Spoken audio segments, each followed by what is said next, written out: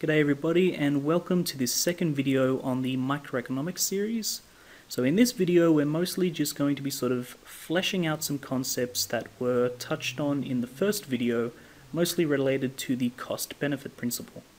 So we're going to introduce the term economic surplus, revise opportunity cost because it's a really important concept uh, and we have to make sure that's thoroughly understood, and we're going to have a look at how we can put a number to certain implicit costs because uh, we saw previously that there are implicit costs that were fairly qualitative uh, but putting a number to them can be really useful in decision making.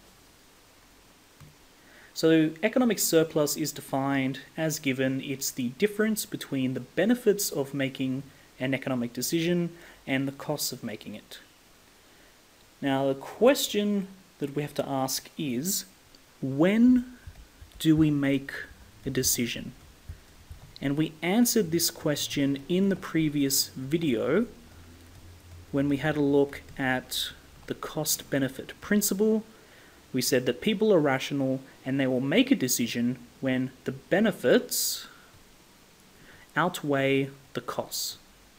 So you can see, looking at this equation, if the benefits are greater than the costs, then obviously the surplus is going to come out to be positive.